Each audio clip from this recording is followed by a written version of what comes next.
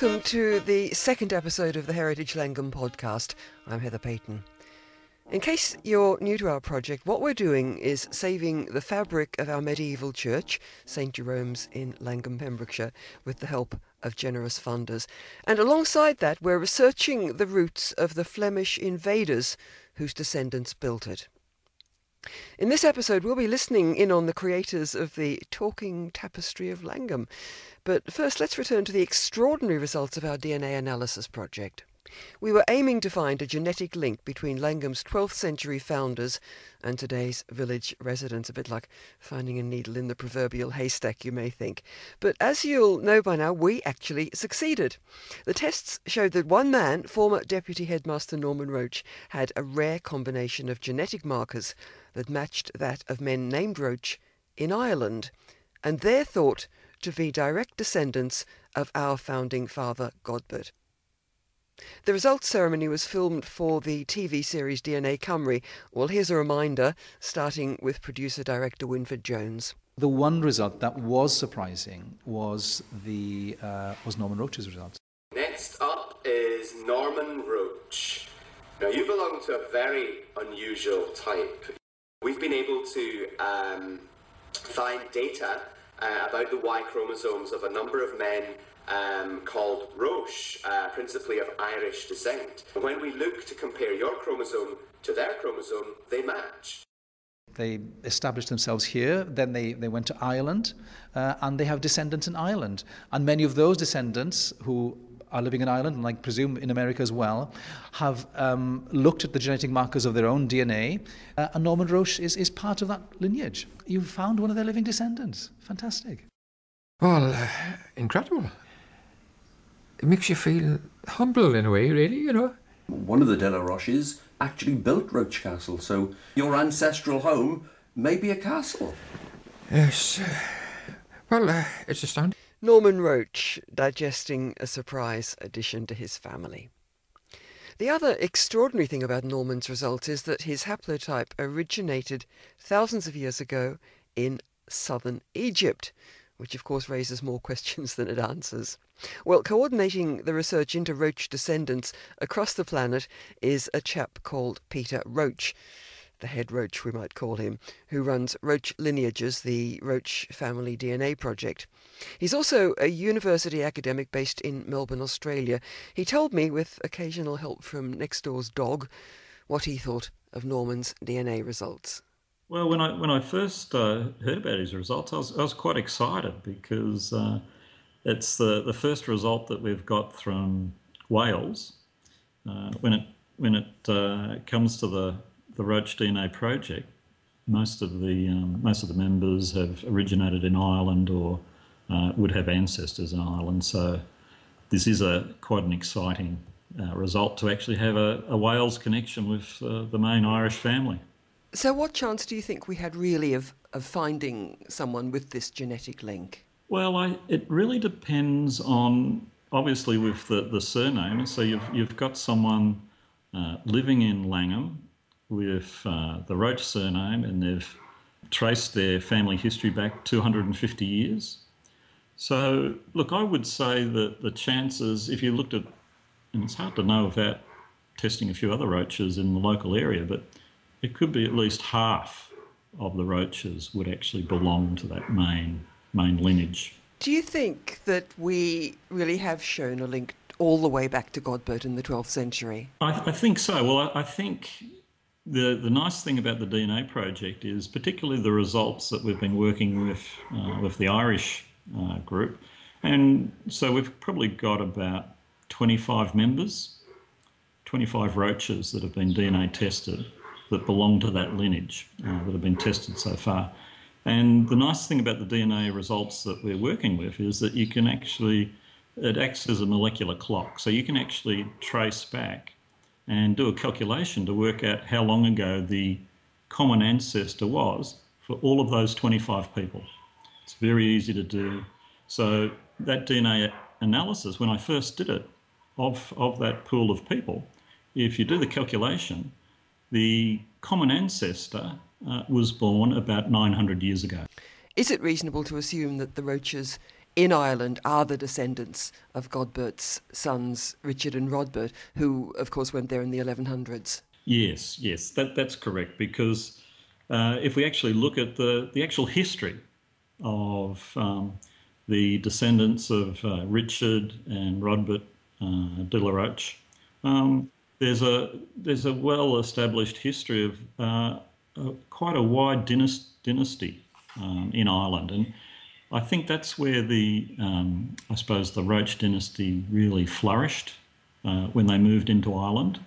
And in, I don't want to say this uh, in any way to um, reduce the effect of uh, the Roche history in Wales, but when when we look at the Roche history, I suppose uh, once they moved into Ireland, that is where they really prospered, and uh, they had a, a, long history going right up to the uh, the 18th century. They became Viscounts Roche, uh, a very powerful family in Cork and Wexford, and when we look at the the project, we've got members that have come from both of those areas. So we've got members that have, uh, can trace their ancestry back to Cork and also Wexford, and now the same uh, lineage we've got. Uh, the first person tested in Wales is also a member of that lineage. Well, theirs and of course Norman's haplotype is very rare.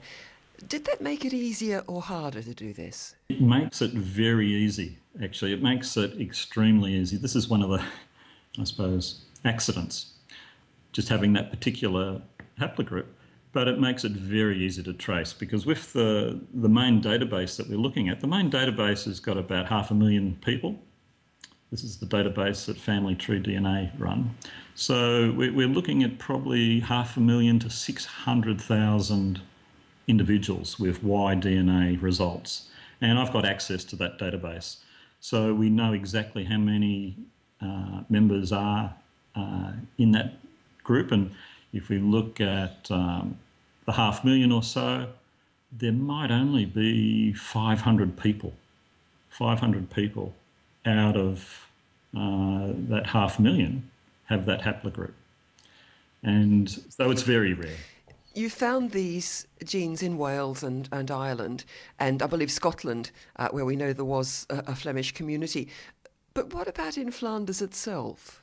No, well, I think the issue is that not many people test in in uh, Flanders, Flanders, sorry, and um, I think that's just by the the nature of uh, who's interested in DNA testing. Most of the people that are interested in DNA testing tend to be in the US or Canada uh, or Australia. There is, of course, this continuing mystery that the haplotype originated in southern Egypt. So, how might it come to be present in Godbert and his sons, and now, of course, Norman? Yeah, well, uh, it probably goes back to the Roman era of uh, Egypt. So if we if we have a look at around about 2,000 years ago, where um, basically Egypt was a, a Roman uh, province, and so that was actually one of the most important Roman provinces. Uh, Egypt it, provided most of the grain for the uh, the empire, and there was actually quite a few um, Roman uh, legions uh, based in, in southern Egypt, where this haplogroup uh, originates. And so, probably what's happened is that one of the, the local uh, individuals there has, uh, as part of that, um, maybe that trade between uh, Egypt and Italy, or maybe also maybe as part of one of the legions, has migrated from southern Egypt to Italy. And uh, thinking of that database that's got half a million individuals in it, we can actually see if there's any related people to the group in other parts of Europe. And the, the closest linkage outside of um, the UK are a few individuals in Italy, in northern Italy. And if we again, if we look at that molecular clock and find out who the how long ago the common ancestor was, it was around about 1500 years ago.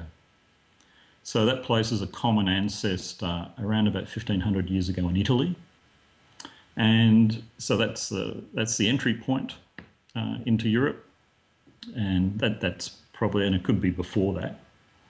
So uh, from, from Italy, again, if you think of the, the Roman Empire, the Roman Empire extended right up to uh, Belgium, Flanders region. So it's quite easy to see how you can get a migration from Italy. Peter Roche in Melbourne on the extraordinary journey of Norman's DNA. You may also know that the Heritage Llangwm project is planning a tapestry along the lines of its famous predecessor in Bayeux, showing our history in pictorial form, lovingly designed and stitched locally. When it's finished, it'll be exhibited in the church. Well, I joined them as the stitching got underway in the village hall, though by now the six frames have been moved to people's homes for a bit of communal embroidery, which may or may not also turn out to be a great excuse for cups of tea or coffee.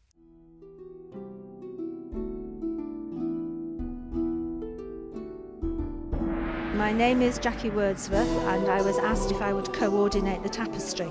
So I have been trying to round up stitching volunteers and organising all the materials. So it's been a question of sourcing and purchasing fabric, yarn, um, butcher's string, would you believe, needles, thread, and all that sort of thing, and organising the making of six tapestry frames, one for each of the panels and the designs were ultimately made by a lady called Fran Evans, a local illustrator, and she designed them from all the pictures and um, ideas that came from the school children in Llangwm School.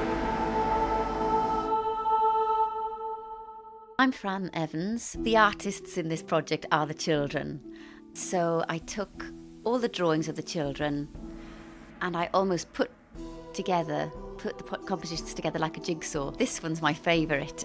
It's when I'm probably going to get the names wrong. I think it's Godbert arriving in Llangwm. and the children's boats, the drawings of the boats were so fantastic that I had to have one composition where the boat was first, you know, in the foreground. I'm the Reverend Andrew Johnson, who um, is now parish priest in Dale Marloes St Ishmael's and St Bride's, and I was phoned up by the Archdeacon because I happen to have some experience in doing large embroidery, ecclesiastical embroideries, and he said um, the group in Llangwm are about to do something big. Unfortunately, the person that was directing them is has had to pull out. Any chance of you going and giving them a hand? And um, it's been downhill ever since.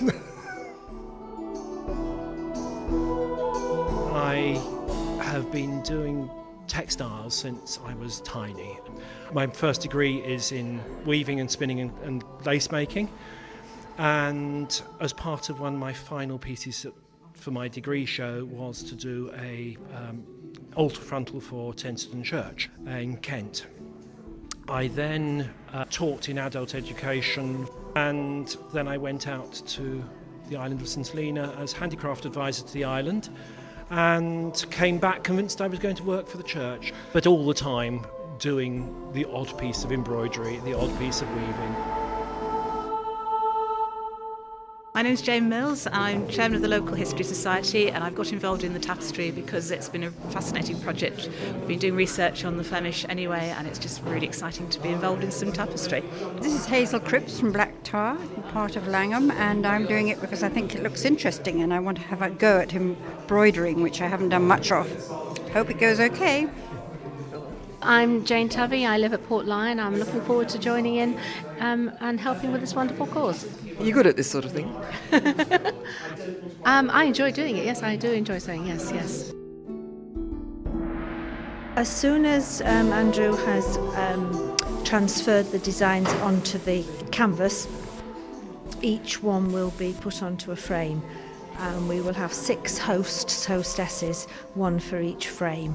And he will go round in sequence to make sure that each team of stitchers has all the equipment, they know what they're doing, and they know what stitches to use. Um, at the moment, we've got two ready to roll, and he is currently doing the third. The bangs in the background are the staples as he's proceeding with the third panel.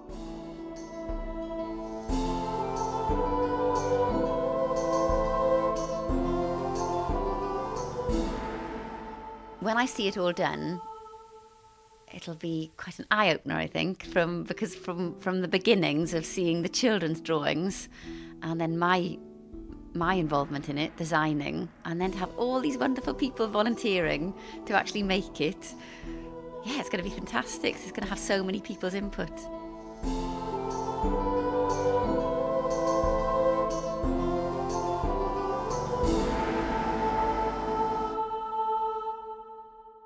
Fran Evans, designer of the tapestry. In fact, you could say that our tapestry, the Talking Tapestry of Llangwm, it's called, drags history into the 21st century. The hint being in the name. When it's set up in the church, you'll be able to use a mobile phone or tablet to display the story of what you're seeing. More about how we're doing that in later episodes. Thanks as ever to our backers, including the Heritage Lottery Fund and Cadw. That's it until next time, but do tell us what you think of this edition via the website www.heritagelangwm.org.uk.